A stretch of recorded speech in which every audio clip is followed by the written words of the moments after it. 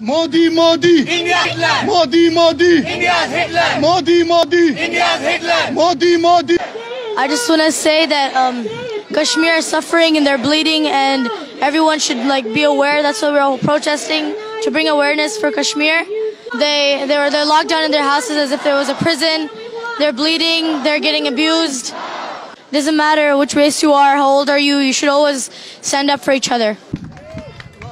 Free, free! Free, free!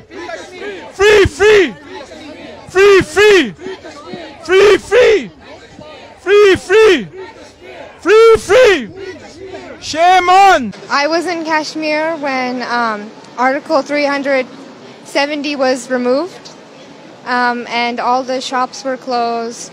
We weren't allowed to go anywhere outside. I just want to say something about like calling our families. And like I had my grandma in Kashmir and we couldn't call them. And a bunch of family, we wanted to make sure if they were okay, but we couldn't contact them. India's Hitler. Modi, Modi. India's Hitler. Modi, Modi. India's Hitler. Modi, Modi. India's Hitler. Modi, Modi. India. Every single day, the Kashmiri people are in a state of uncertainty about what is going on around them. They don't know if any given day they're going to have access to internet, if they're going to have access to a phone, if they're going to have access to even leave their house to get basic necessities. They're in a state of complete unknown and fear. And it's terrible and it's an injustice. I think the fact of the matter is India has no claim over Kashmir. They never have and they never will. And as long as the Indian people keep fighting, anything that the Indian government tries to do will not be successful. All 1.3 billion people of India do not agree with what is happening in Kashmir, especially with the new resurgence of human rights violations. There are a lot of Indian citizens who are realizing the corruption and the injustices that the Indian government is capable of doing. So hopefully we have their support on our side, and we also have each and every single Kashmiri citizen on our side. Modi, Modi! Modi, Modi! Modi, Modi! Modi, Modi! Our loved ones in Kashmir have been held in an open air prison. Children are disappearing. Women are getting molested and raped.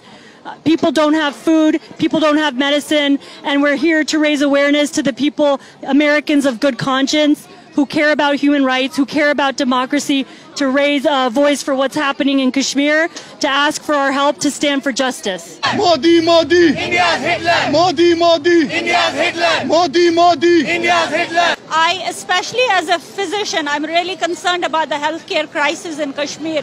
People are not able to seek medical attention. Pregnant women have to walk eight, ten miles uh, to reach a hospital. There is shortage of chemotherapy drugs. There is shortage of essential life-saving medications like insulin. People who need hemodialysis Uh, at least three times a, a week in order to get their kidney function improved. They're suffering. If they don't get hemodialysis, they can die from lack of it. And children are suffering. They're suffocated inside the house. This is ha- having a really detrimental effect on the psyche of Kashmiri people. We're seeing more and more depression, post-traumatic stress disorder, anxiety in people. We want this lockdown to stop now and we want all these atrocities to end. Enough is enough. Kashmiri people had enough of it. This is extreme brutality in the 21st century, and the world should not just sit back and uh, watch it. What do we want? When do we want them? Now. What do we want? Human rights. When do we want them? Now. What do we want? Human rights. When do we want them? Now. I just lost my dad on the 31st, not too long ago. And um, there would have been no way of me finding out if it had happened like three days after or four days after. I worry that something will happen to my mom, and there's no way of communicating or finding out.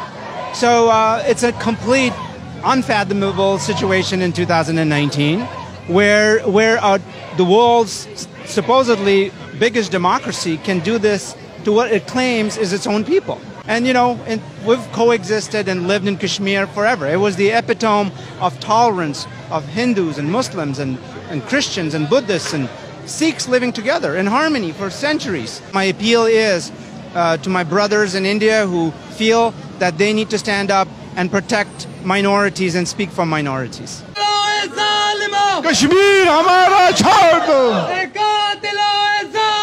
Kashmir हमारा छोड़ दो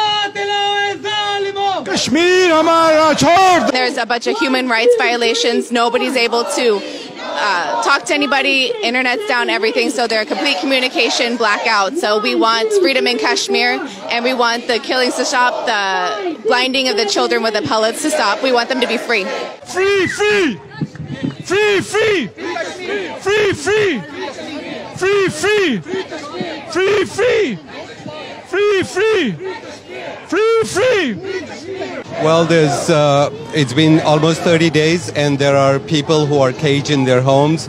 Kids cannot leave. Uh, there's barbed wires there, and uh, there's a lot of kids that are being kidnapped by Modi's government. Uh, these people come at night and they take the kids uh, away, and parents have no clue where the kids have been taken.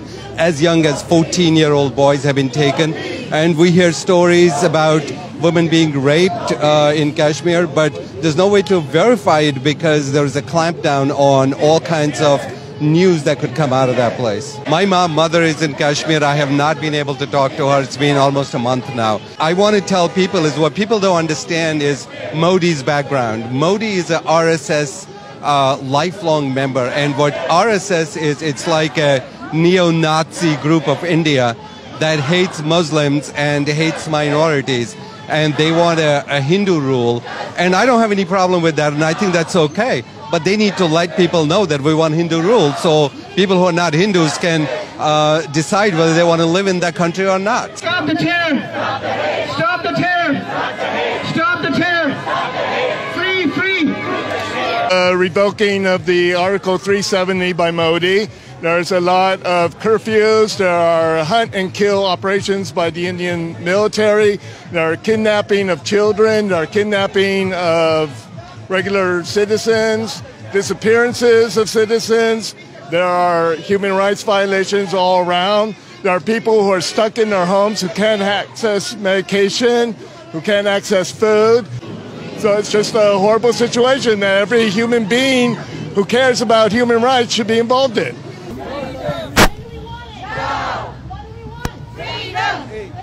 Worst part is that these people, these innocent people that are locked down in their houses, they have not done anything. They're very innocent. They have they lead normal lives just like you and I, and uh, they have to go through this. You know, it's very painful, it's very hurtful, and the world needs to wake up. The Indian so-called democracy, it doesn't reflect because the people are not given chance to speak. All the leaders are locked up. Modi, do sun le. ले are भी सुन ले are भी सुन ले You know, I have family in Kashmir. My sister's a gynecologist. She attends to patients. I have no knowledge of how she operates on people. The babies are going to be born. Uh, my brother-in-law is on dialysis and he needs medicine. We have no idea if he's getting medicine. So there's absolute lack of communication.